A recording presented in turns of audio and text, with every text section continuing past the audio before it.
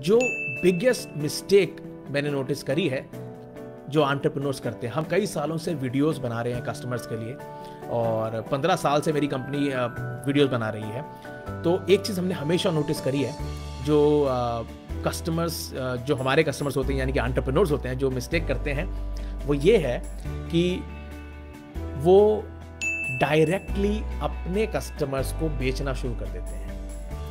Digital marketing में थोड़ा सा गेम चेंज है और उसमें यह है कि पहले आप वैल्यू देंगे और उसके बाद आप सेल करेंगे।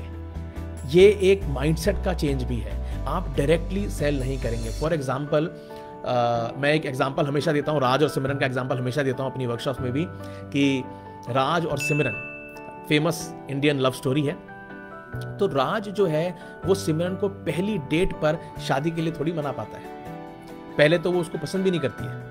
वो धीरे धीरे उससे मिलता है, बातें करता है और धीरे धीरे उसमें इंटरेस्ट जगता है। वो फ्रेंड बनते हैं फ्रेंड से बात आगे बढ़ती है और फिर बाद में they fell in love and at the end जा सिमरन जा वाला सीन आता है। है कि नहीं? तो अब इसमें क्या होता है कि यू जिस तरह ये एक स्टोरी है लव स्टोरी है एग्ज़ाम्पल के तौर पर बता रहा हूँ मैं आपको, उसी तरह से when you go in front of a customer जो आपको बिल्कुल नहीं जानता आप सीधा जाते ही उसको थोड़ी बोल सकते हैं कि मेरा सामान खरीद लो, मेरा प्रोडक्ट ले लो, मेरी सर्विस ले लो।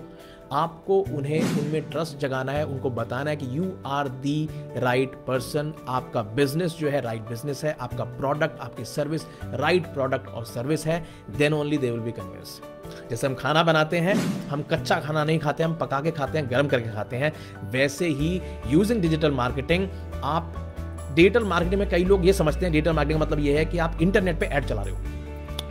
इंटरनेट पे एड चलाना डिजिटल मार्केटिंग का सिर्फ़ एक पिलर है एडवर्टाइजिंग पिलर है। लेकिन हम जब इंटरनेट को यूज़ करते हैं डिजिटल मार्केटिंग को यूज़ करते हैं, हम एडवर्टाइजिंग करते हैं नो डाउट अबाउट दैट वो नहीं करेंगे तो बात नहीं बनेगी।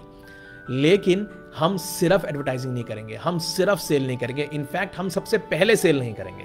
हम सेल करेंगे बाद में।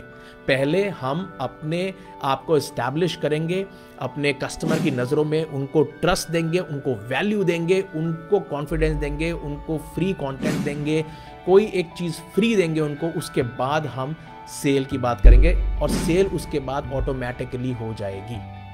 ये करने के बाद सेल ऑटोमेटिकली हो जाएगी। जैसे आप चाय बनाते हैं तो पानी डालते हैं, दूध डालते हैं, आग लगाते हैं, उसमें चीनी डालते हैं वट जो भी डालते हैं एंड में चाय बन जाती है।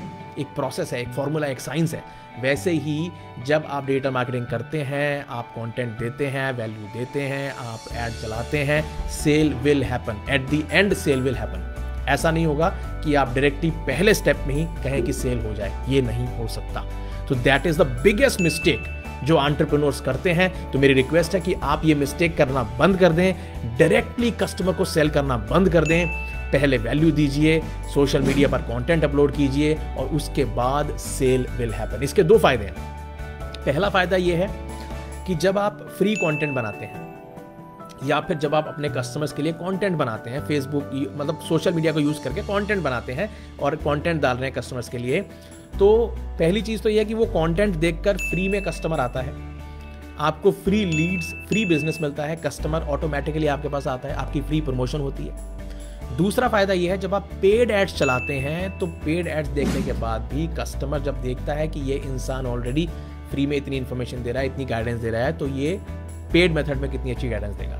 फॉर एग्ज़ाम्पल हमारे एक कंसल्टेंट क्लाइंट हैं, जो योगा चाह रहे हैं तो वो योगा के टिप्स एंड ट्रिक्स देते हैं फ्री ऑफ़ कॉस्ट अपने चैनल पर और उनका योगा का कोर्स भी है।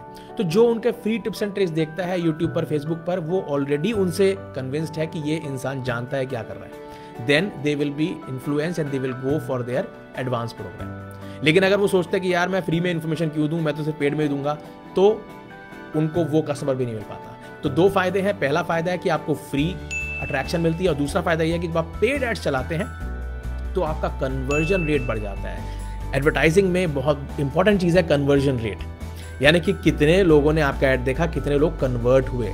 तो मान लीजिए दस लोग आपका ऐड देखते हैं और दो लोग कन्वर्ट होते हैं। अगर आपने डिजिटल मार्केटिंग करा है, अगर आपने अपने कंटेंट अपलोड करा है और आप अपने अपने इकोसिस्टम में, अपने फेसबुक और यूट्यूब पर अगर आप कंटेंट डालते हैं तो फिर वो दो की जगह चार हो जाएगा। यानी कि सेम एक्सपेंस में आपको ज़्यादा कस्टमर मिलेंगे।